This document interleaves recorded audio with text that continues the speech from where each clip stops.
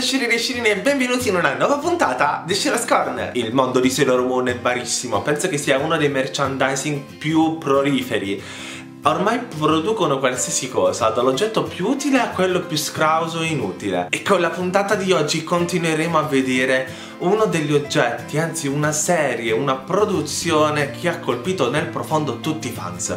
Sto parlando delle Figuarts Zero di Sailor Moon Crystal. Nelle puntate precedenti avevamo visto già nel dettaglio le nostre prime due protagoniste, ossia Usagi e Amy e potete trovare qui sopra nelle informazioni e qui sotto nell'info box i link alla playlist e alle varie recensioni. E oggi vedremo nel dettaglio la nostra magnifica Rei. La nostra protagonista, alta di circa 20 cm e prodotta dalla Bandai, è stata acquistata su un Big in Japan a un prezzo di 50 euro escluso le spese di spedizione. Con le spese ci troviamo intorno ai 56-57 euro.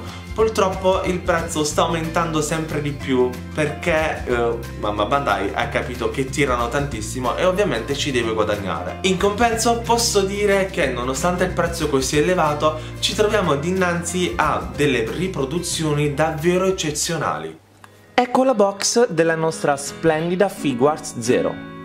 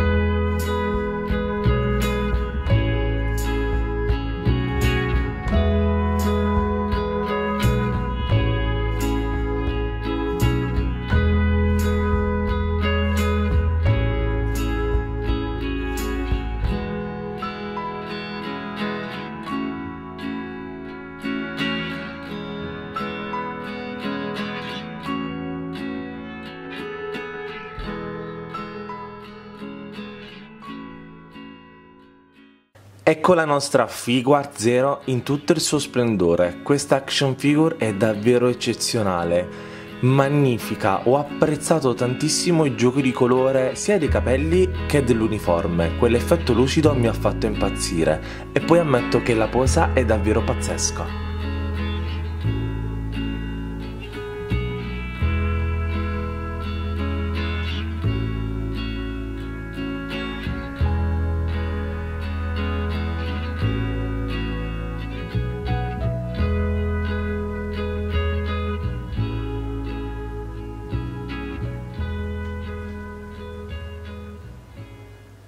Qui vado proprio tranquillo, vado sul liscio, perché se dovessi dare un voto oggettivo a questa meraviglia, considerando i pro e i contro, sicuramente darei un 9 pieno. Allora, partiamo dal principio. La posa è magnifica, l'effetto lucido sull'action figure è pazzesco. I colori, le sfumature dei capelli, proprio ciaone, è magnifica.